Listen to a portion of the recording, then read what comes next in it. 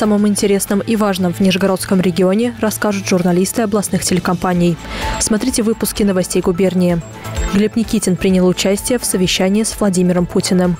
Поддержку семей с детьми обсудили на коллегии Министерства социальной политики. В Большом Болдине отметили день рождения Александра Сергеевича Пушкина. Губернатор Нижегородской области Глеб Никитин и члены правительства Российской Федерации приняли участие в совещании с президентом страны Владимиром Путиным. В качестве основной темы – развитие автомобильного туризма в России. Совсем недавно в нашем регионе завершили строительство современной магистрали М-12, благодаря которой путешествие на своем автомобиле по стране не просто стало возможным, а стало комфортным и востребованным. А еще в регионе завершили строительство обхода Арзамаса и Дивеева, что также позволило привлечь автопутешественников. Глеб Никитин предложил предложил президенту комплекс мер по продвижению идеи автопутешествия по России через культуру, кинематограф, шоу и не только. Творить поддержку производителей автодомов, то есть не только туристических э, автобусов, но и автодомов, с возможностью их приобретения по программе льготного лизинга. В Нижнем Новгороде создание автодомов опробовано на базе э, шасси «Газель». В, случае поддержки этой программы тоже готовы выступить пилотным регионом. Многодетные семьи получат компенсацию на оплату коммунальных услуг по содержанию жилья. 50% от суммы в квитке им вернет регион. До этого компенсировали только расходы на свет, воду и газ. О дополнительных мерах поддержки семьям с детьми и незащищенным категориям граждан говорили сегодня на коллегии Министерства социальной политики. За последние 7 лет количество многодетных семей в регионе выросло в два с половиной раза. Особое внимание – поддержке семей участников СВО. Это и выплаты по социальным военным контрактам, и организация летнего отдыха детей в лагерях и санаториях. В списке задач – создание в регионе семейных МФЦ и профилактика социального сиротства. Кроме того, необходимо повысить зарплаты сотрудникам интернатов, детских домов и других социальных учреждений. В преддверии профессионального праздника лучших из них сегодня наградили благодарностями и подарками. Работать они теперь будут в более комфортных условиях.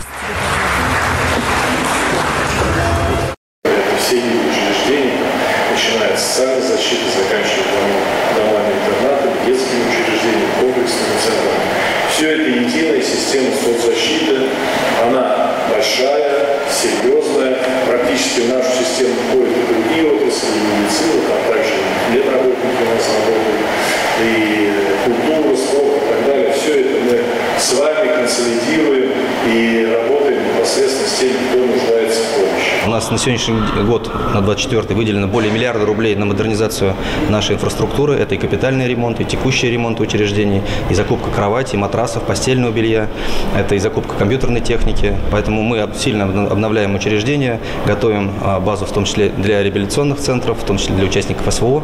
Это отдается приоритет. День рождения Пушкина отметили 6 июня. 225 лет исполнилось солнцу нашей поэзии. Нижегородский край неразрывно связан с жизнью и творчеством Александра Сергеевича. Да, это легендарная Болдинская осень. Три месяца поэт провел в своем родовом имении в Болдине из-за холерного карантина. И вот какие шедевры здесь родились. Повесть Белкина, маленькие трагедии, последние главы Евгения Онегина, домик в Коломне, история села Горюхина, сказка о попе и работнике его балде и многое другое. Одним из первых с пушкинским днем поздравил губернатор Нижегородской области Глеб Никитин. Блажен, кто с молоду был молод, блажен, кто вовремя созрел, кто постепенно жизни холод с летами вытерпеть умел. Эти очень глубокие слова, это четверостишье э, из строфы той части Евгения Онегина, которую Пушкин э, дописывал в Большом Болдине в 1830 году здесь, на Нижегородской земле. Пожалуй, это был самый продуктивный период у великого русского поэта. Сегодня с Болдинской земли, где расположен музей-заповедник Пушкина, родовое имение.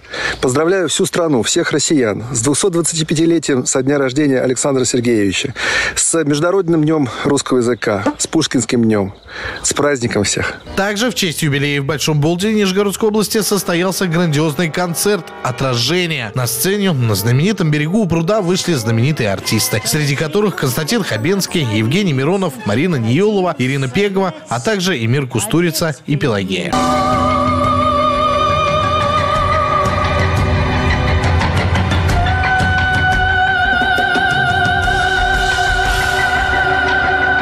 Я очень рад, что здесь нахожусь, дышу этим воздухом, вижу эту красоту, хожу, видимо, по тем же дорожкам, которым Александр Сергеевич ходил, и чувствую себя еще более цельным, находясь у себя дома и на родине, и того, кто олицетворяет вообще Россию. Я впервые в Большом Болдине. Могу сказать, что здесь, э, конечно, определенная атмосфера. У энергии этого места такое соединение двух энергий как раз э, очень интересно. Празднования в честь дня рождения великого поэта прошли по всей стране. Служба информации Кирилл Инковский.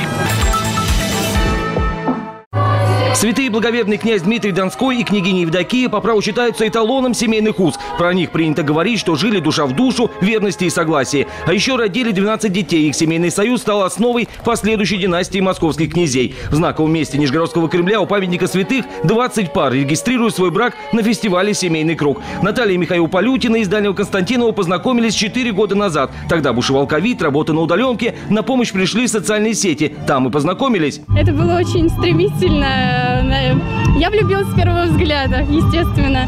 А Михаил, наверное, чуть попозже, но это было так, очень стремительно. Похожая история и у молодоженов новоиспеченной семьи Собиновых. Эту пару также связали соцсети и любовь с первого взгляда. Я поняла, что это он, тот самый любимый человек. Кто точно знает о семейном счастье, так это чита Панксеновых. В браке уже 50 лет. Юбиляров золотой свадьбой тоже чествуют на фестивале. Они делятся своим секретом семейного благополучия. Любовь, терпение, любовь, терпение пере- перемежается постоянно. Ну и, конечно, очень большое уважение друг к другу. Гордости и радости быть вместе. Я очень надеюсь, что все наши семьи будут жить долго и счастливо. Во всяком случае, мы всегда им этого желаем. Всего в регионе в День памяти святых благоверных князя Дмитрия Донского и княгини Евдокии официально семейные узы связали 184 пары. Совет всем да любовь. Поздравляем вас с новым началом совместной жизни. С днем свадьбы! Влюбленные! Служба информации Сергей Щеплягин, Иван Масов. 195 семей из разных регионов страны приняли участие в конкурсе «Большая семья. Опора России». Дивеевский монастырь принял 26 семей победителей. Гости смогли причаститься, помолиться и побывать на экскурсии.